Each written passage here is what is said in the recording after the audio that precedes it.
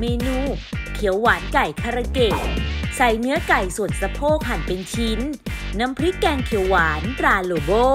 น้ำตาลทราย และนมข้นจืด ลงในภาชนะคลุกเคล้าให้เข้ากันเตรียมไว้ เทแป้งชุบทอดตราโลโบลงในภาชนะ และเทขนมปังป่นปรุงรสตราโลโบลงในภาชนะนำเนื้อไก่ที่หมักไว้ลงชุบกับแป้งชุบทอดตราโลโบ จุ่มลงในไข่ไก่ตีพอแตก ตักขึ้นคลุกขนมปังป่นปรุงรสตราโลโบให้ทั่วนำลงทอดในน้ำมันพืชที่อุ่นเตรียมไว้